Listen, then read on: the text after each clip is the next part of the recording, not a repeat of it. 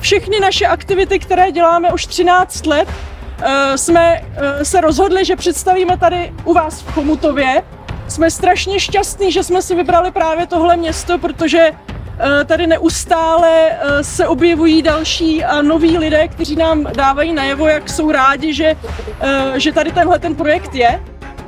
Hmm, tak my jsme právě dohráli představení Hru o trůn.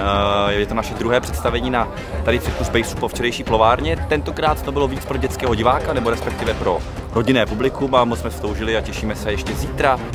We'll be doing parkour around and uh, the main place we're going to is a fountain on the other side. We're gonna stay there for almost an hour. Jo, to je ono.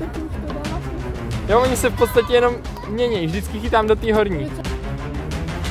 Takže teďka právě eh, byla skončena premiéra mého solového představení Tea Acrobat, nebo Čaj Acrobat česky řečeno.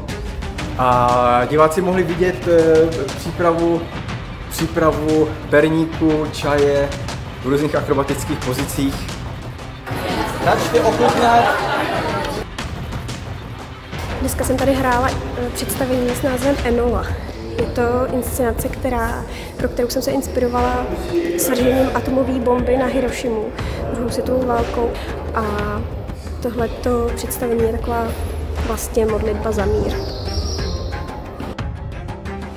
Jsme duchové, místa? Takové místa, kteří vždycky ožijou tam místo a proskoumají jeho zákoutí, různé skryté kouty, prolízačky z mříží a laviček a lám